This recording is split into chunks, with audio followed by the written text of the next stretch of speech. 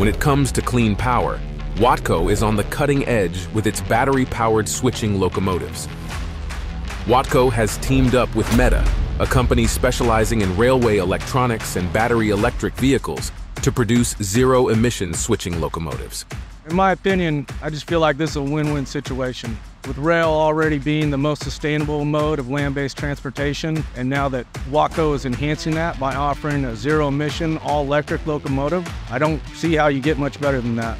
Watco has found an economical and environmentally friendly approach for industrial use and short-line operators.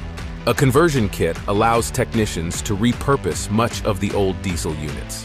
For every thousand gallons of diesel they aren't using, these battery-powered units reduce harmful carbon dioxide emission by 10 metric tons. NASA says one metric ton of CO2 would fill a sphere 32 feet in diameter.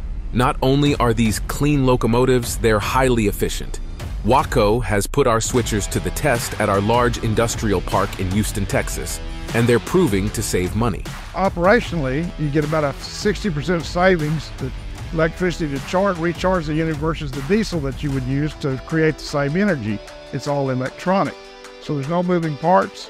There's no uh, prime mover there. The, there's no drive shaft to uh, drive an air compressor, no auxiliary generator. From an engineer standpoint, after operating these motors for a few days now, they they run really, really well. They run smooth. The reduced cab noise is amazing. It's it's so nice to be up there and not have to wear earplugs and I can hear everything on the radio. It's, it's awesome. These electric locomotives are fantastic for a yard environment. They operate on a full charge for about 12 hours, and even if you do completely deplete the batteries, they only take about 8 to 10 hours to recharge on a medium voltage. It works really well for us out here.